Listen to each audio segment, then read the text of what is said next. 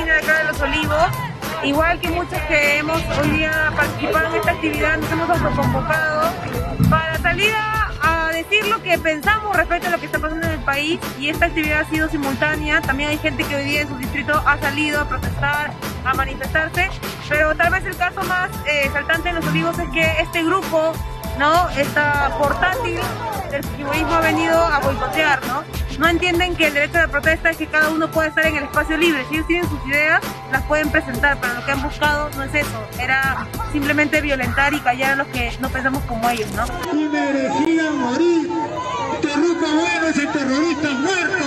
Y todos los terroristas deben estar muertos, así como los que nos defienden. Terrorismo nunca más.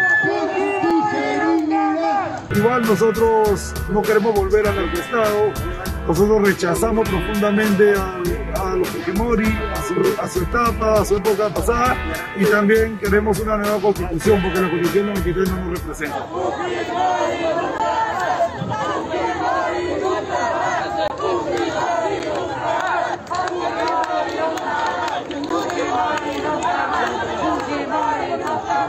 A mí no me pagan, sigo gritando.